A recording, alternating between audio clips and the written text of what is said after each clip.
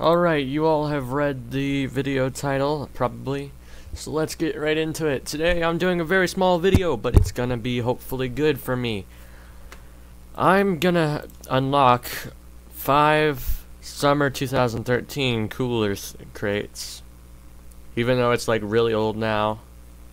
I really want to see what's in them and I had some extra money, so let's just uh, go ahead and uh, do this. Hope to get some unusuals or something, that would be great. Alright, let's see what's in the red one. What is it?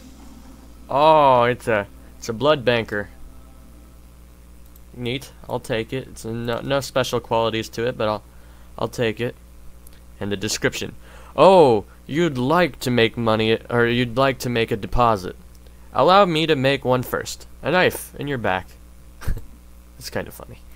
Anyway, moving on to the green one. Let's see what we get. Come on, special. Come on, special. Nope, I got a crappy chameleon. Nothing special about it. Moving on. Alright. Aqua case. Please give me something good. Something. An unusual, please. Anything like that. No, no, it's just crappy hive minder. Just crappy hive minder.